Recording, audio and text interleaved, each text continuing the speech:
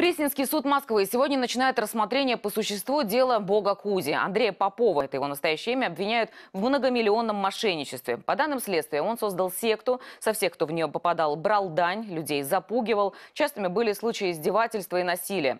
За ходом судебного заседания следит наш корреспондент Олег Шишкин. Олег, итак, главного фигуранта уже доставили в суд?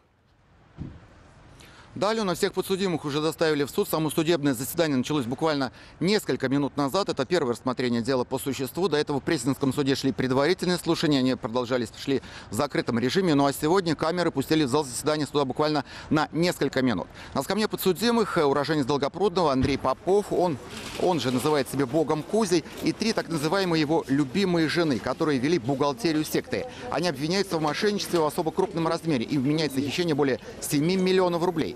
Попов был задержан в сентябре 2015 года, обвиняется в организации секты, деятельность которой, это слова из протокола, сопряжена с насилием над гражданами и причинением вреда их здоровью.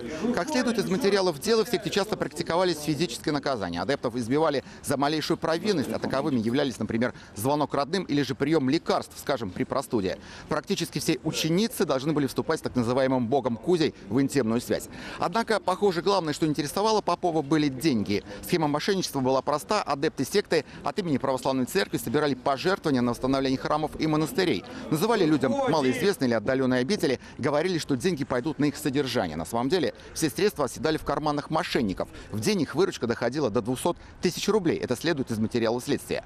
Вначале Попов представлялся священнослужителем, так называемым епископом Романом, а затем, когда официальные представители Московского патриархата заявили, что знать его не знают, начал называть себя богом Кузей. Есть версия, что имя Кузя он взял в честь любимого попугая. В общем, от смешного до трагического в этой истории один шаг. При обыске в его квартире, помимо крупных сумм, денег, крупных сумм денег, 43 миллионов рублей и 100 тысяч долларов, следователи обнаружили множество экзотических животных. Игуан, крокодилов и даже австралийскую ехидну, которую не разводят в неволе и которую вообще запрещено вывозить с территории Австралии. Итак, сегодня первое заседание.